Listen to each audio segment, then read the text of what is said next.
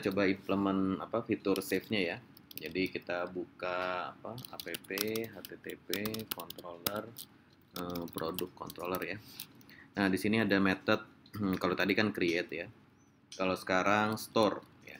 Nah, di store ini kita akan implement uh, ininya apa function save-nya ya.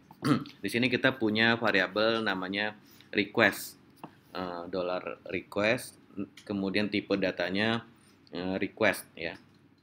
Ini merupakan fiturnya si siapa? Laravel ini. Ini namanya istilahnya seperti ini dependency injection ya. Jadi artinya si variabel ini nanti sudah disediakan sama Laravel sehingga kita tinggal pakai. Nah, di sini kita coba dulu lihat ya. Hmm, request ini isinya apa aja gitu ya. Oke, nah kita akan coba buka uh, dokumentasinya. Ini HTTP request ya. Jadi untuk mendapatkan request ini bisa lewat ini apa lewat uh, method memanggil gini bisa lewat dependency injection. Nah, dependency injection kita tinggal deklarasi aja di dalam uh, parameter method nanti sudah disediakan.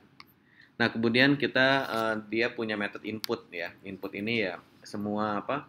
Semua data yang diinputkan di dalam form.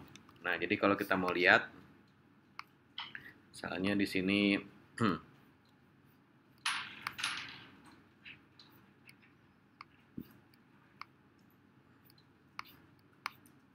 mana ya hmm.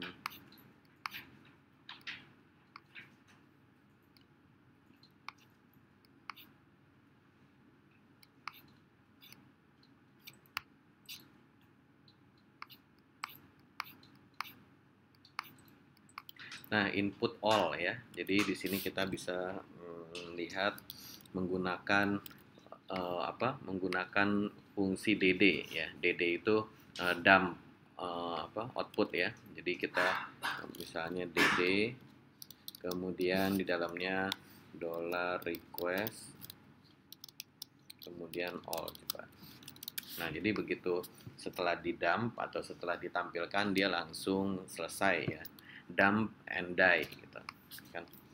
Nah sekarang kita coba localhost 8080 hmm, produk ya produk create kan ini kan tadi. Hmm, P001 produk 001 kemudian hmm, ini produk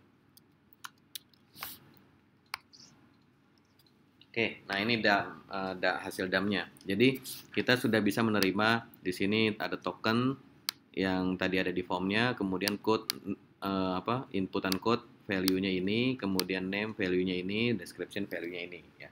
Nah, kemudian di sini uh, ini sebetulnya bisa kita mm, langsung apa? langsung masukkan ke dalam mm, si objek tadi nih, apa create ya, method create. Jadi di sini kita mm, coba apa produk create dollar request all. Nah, gini ya. Nah, ini kita hapus ya. Kemudian setelah itu kita redirect ya. Redirect itu seperti ini. Return redirect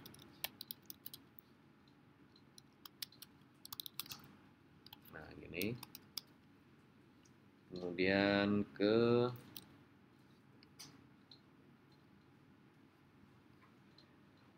Nah, dari direct to dia bilang di sini back. Back itu ya balik lagi.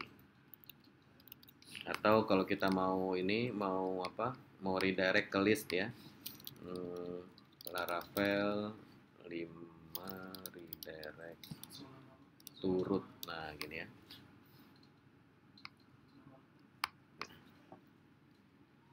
nama rootnya ya root. Nah di sini kita root hmm, produk indeksnya itu apa ya? Indeks ya. Produk indeks saja nah ini. Oke nah sekarang kita coba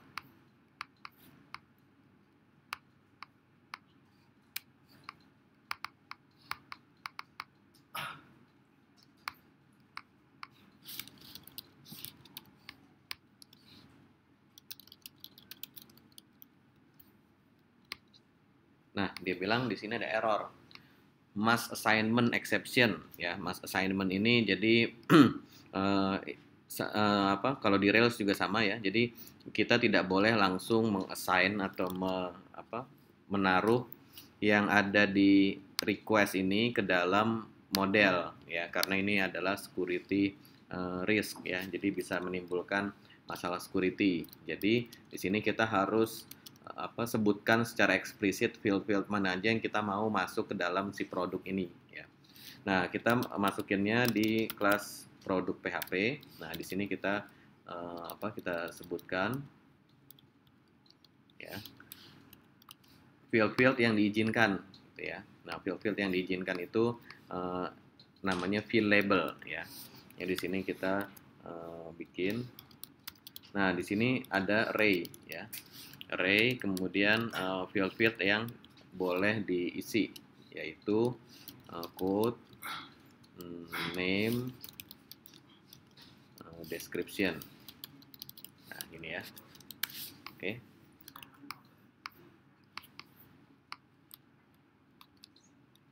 nah kita tes lagi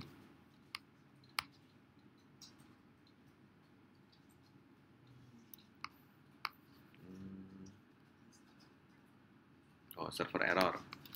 Apa katanya errornya?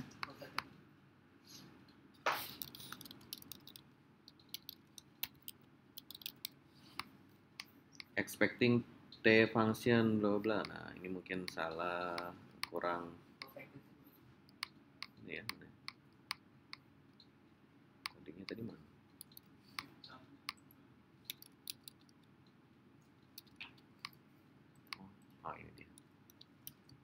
ini pakai protected ya